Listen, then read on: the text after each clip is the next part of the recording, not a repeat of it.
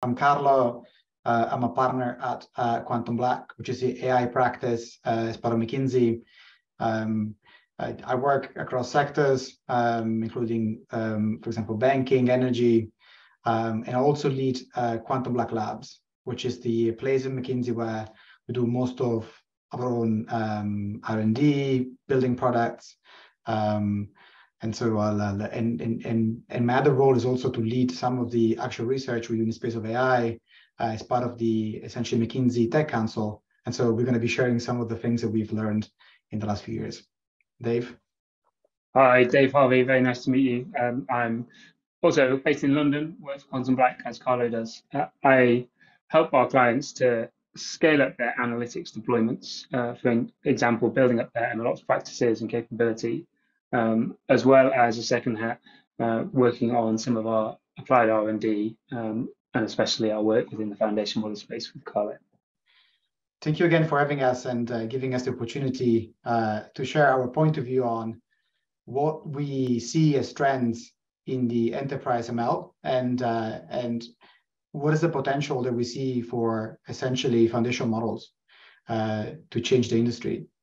Um, um, the, if, if, you move forward, I will skip the introductory page that we that we prepared. uh, but I think here, I, ju I just want to say there are four things we want to cover today. We're going to show you a bit more about the um, trends of AI um, in the enterprise. Uh, uh, and uh, we also want to talk about how this is going to be evolving in the future. That's our point of view.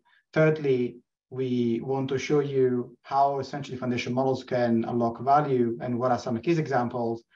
And fourthly, we are um, uh, trying to talk about some of the risks and some of the actual considerations that enterprise um, and executives should keep in mind as they want to venture and want to start using those models. And so the first uh, uh, uh, the first piece of, uh, of, of, what I'm trying to cover really talks about uh, what is the state of the industry. And in 2018, we uh, did a piece of research where we tried to estimate the value of AI um, and machine learning across across geographies, across use cases, across sectors. Uh, and we came up with uh, a 10 to 15 trillion value, which is of course a very sizable, um, very very sizable potential. With some of the sectors or a function, for example, uh, capturing a bit more um, compared to others. So, for example, the the marketing and sales, as you can see here, um, or the supply chain. And since we published this piece of work in terms of value, We'll also be running yearly um, a survey with uh, enterprises globally on how they are, um, you know, how they are achieving the value and how they scaling their own capabilities. And so the last survey we ran was in uh, end of end of 2022, where uh, we service circa uh, 1,500 uh, 15, 1,500 participants, and we started to see a few things. One is compared to 2020, you know, 2018, uh, we uh, see more enterprises investing in, AI, um, in AI capability. But uh, despite this, uh, we can see that the uh, business functions where AI has been used hasn't really increased and it's kind of like leveled off. Um, and, and then when we look at the um, AI leaders, so the, the few enterprises, the subset of enterprises that can really unlock more than 20% EBITDA uh, with AI and compare them with the, the, the other enterprises, uh, we see uh, gaps and uh, quite a few things that they do differently. And, and here we can see three, three examples uh, where we see the highest difference. So one is on the data. And on the data, we can see they, they have the ability to integrate data uh, into models much, much quicker, uh, much easier. Um, uh, the second one we see it's on the platforms. And so they use uh, more modern MLOps stacks. They, uh, um, some of them have embraced the cloud quite, quite extensively. Um, and the last one, which I think is as important, is they have a full cycle uh, approach, and so they they don't think about uh, building uh, building POCs or um, small deployments. They they really think about how do we build, deploy, how do we maintain models in production, and how do we embed those models into business processes. So um, uh, as we see the gaps, we also been reflecting on what are the three things that we see, you know, uh, the industry um, moving uh, moving forward and in a bigger trend. So, so the three things we see here is one is data-centric AI. When I joined at the beginning of the conference, I think Alex covered covered this topic fairly well, and the idea of the um, uh, the shifts from uh, the model-centric to the data-centric uh, development um, and deployment life cycles, and the idea that data really becomes when uh, you know the place where companies or enterprises need to invest more and more, and they are. Uh, the second is the actual maturing of the MLOps, the ML, MLOps or the ML uh, tech uh, tech stack and, and ecosystems.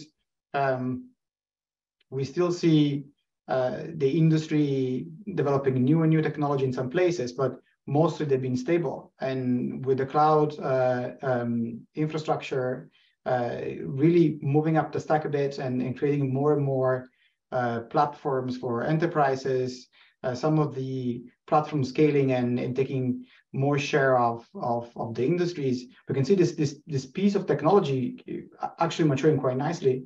Uh, and lastly, I think live, uh, live ops, which is where we, we can see enterprises building capabilities, not only in the space of development, but also in the space of essentially maintenance of, of the models they, they, they, they build and create.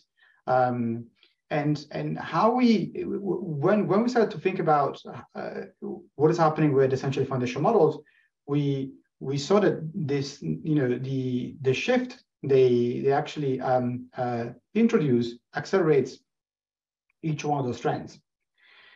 And so, uh, in terms of data-centric AI, I think I think also Alex was was was talking about this the idea that we need less data for for for training, uh, and a small set of human annotated data can actually uh, uh, increase the uh, uh, some some of the performance of the model in directions we we want the model to be you know the model to be.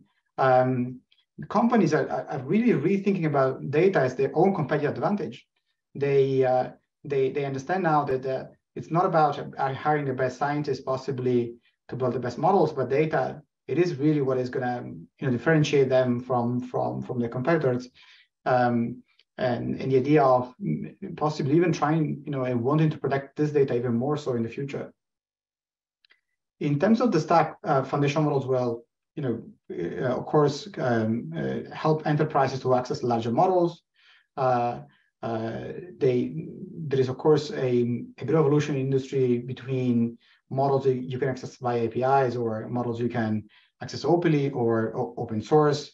Uh, but, the, but but we see we continue to see enterprises wanting to have options, uh, and API still has some complexity, which Dave will will continue to you know will actually cover later in the in the in the talk. Um, and then and then the idea of uh, the MLOps ecosystem being able to uh, uh, uh, you know, facilitate some of the fine tuning and prompting approaches that uh, essentially foundational models um, uh, need for uh, uh, task tailoring and increased accuracy. And lastly, I think the the the foundational models will bring simplicity in in live live ops because we we see that we need less models, possibly, for example, for a, a number of NLP tasks in the enterprise but at the same time, we'll also complicate them because we we can only imagine that monitoring accuracy or the actual performance of foundation models may, may be, be, be more complicated in the context of you don't have a single uh, output output metric that you that you're monitoring. And so um, when we start reflecting back to the value, uh, we uh, uh we essentially thought that uh, there's already a portion of value which is captured by uh, single purpose models have been built in, in the enterprise world, uh, where those models have been, you know, uh, trained to solve a, a, a, um, a, very specific problem.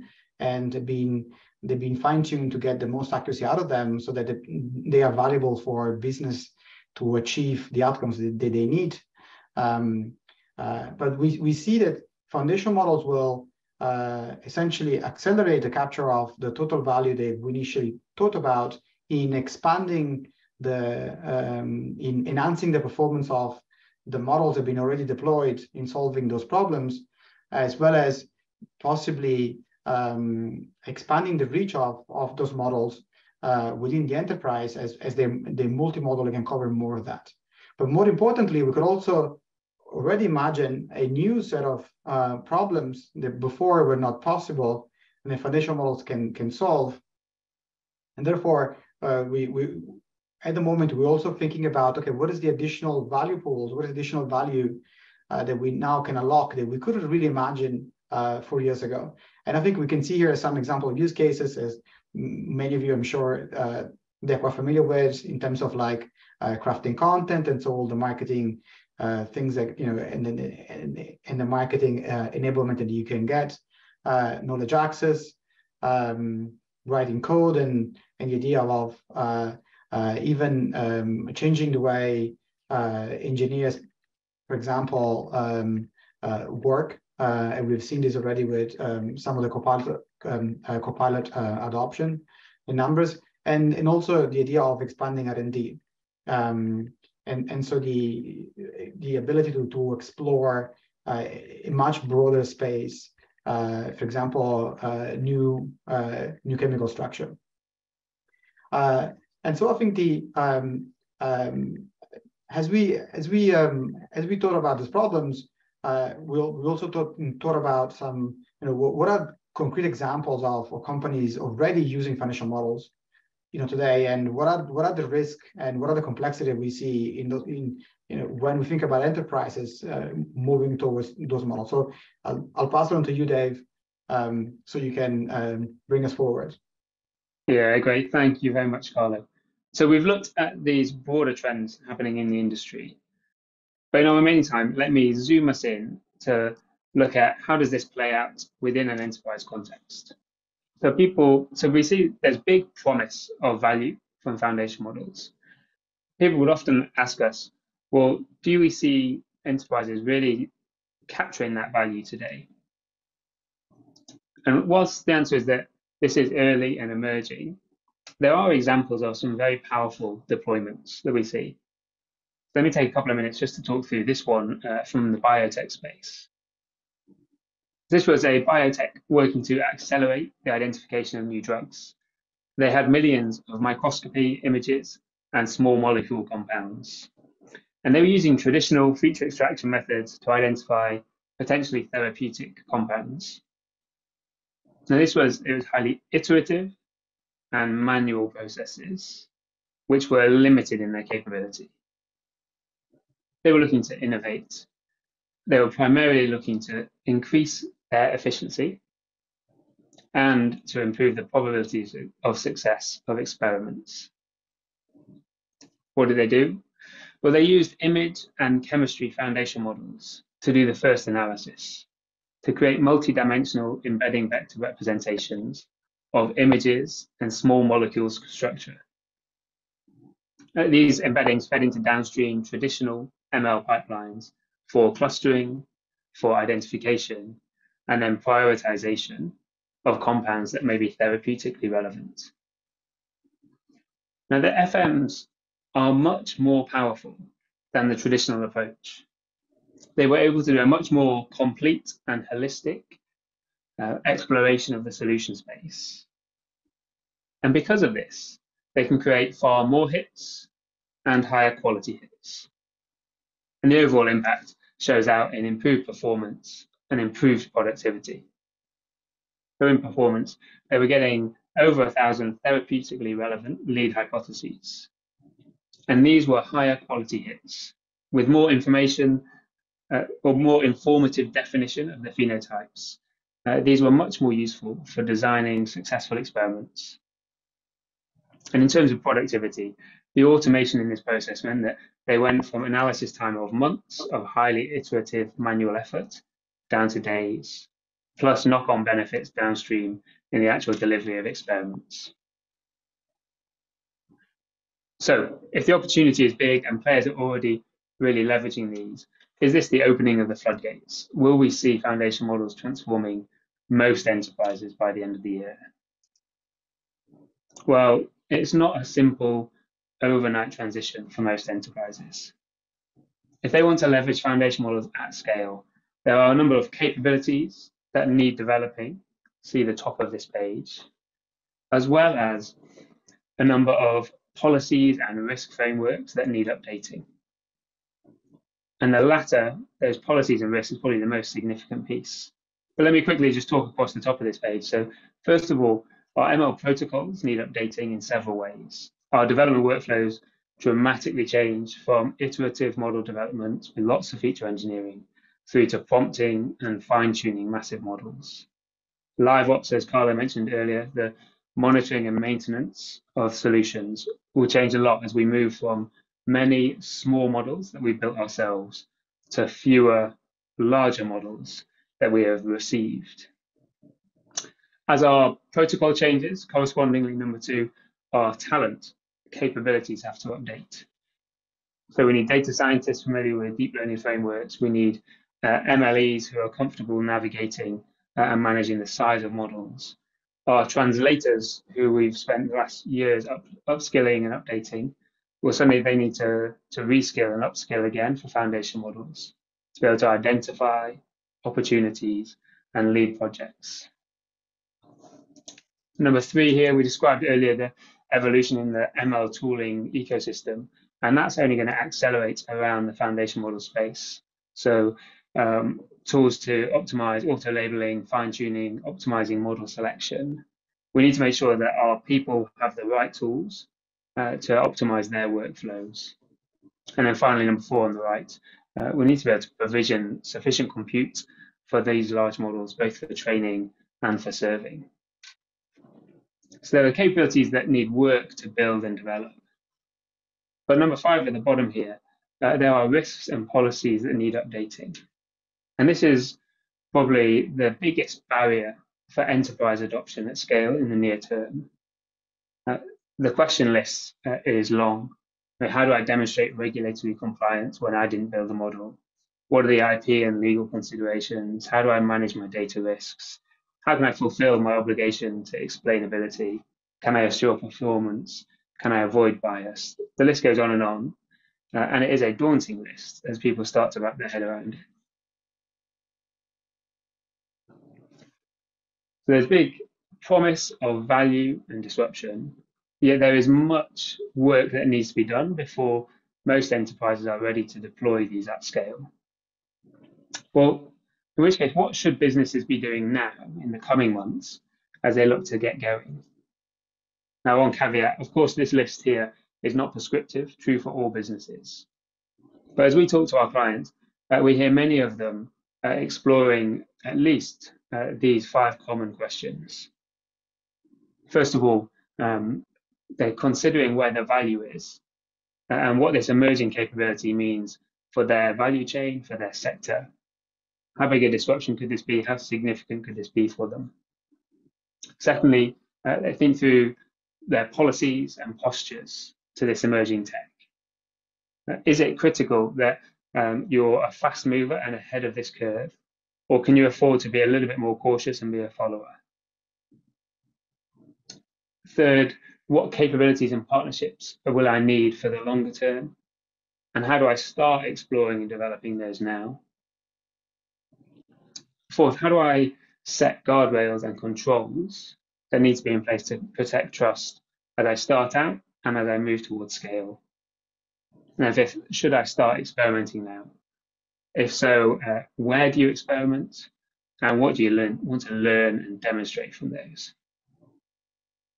Now, we were conscious as we put this slide in, there is a danger that uh, this could imply that it is um, straightforward, clear-cut uh, steps that everybody should be taking. So as we draw towards a close, we did want to acknowledge and recognize that this is an emerging and a rapidly evolving space. And that therefore there is much uncertainty. Now, here is an initial list of big open questions to watch in the coming months. Um, there are clearly many, many more uh, on top of this, but here's are some that we're going to be watching and actively working and researching with various partners. Let me just pick a few of these. So the first one there, uh, where will foundation models truly displace traditional? Where will the performance cost trade-off tip in favor of foundation models? Where will explainability requirements allow foundation model use? Third on this list, what guardrails will emerge for foundation model use in this rapidly evolving space? Um, what will happen in regulation? What industry standards will be emerging? Fourth here, uh, we will invariably see many, many new players emerge. But where will most of them be? Who will the winners be? Uh, will there be many moving in to develop new foundation models? For sure, we already see an explosion of startups building applications on top of foundation models.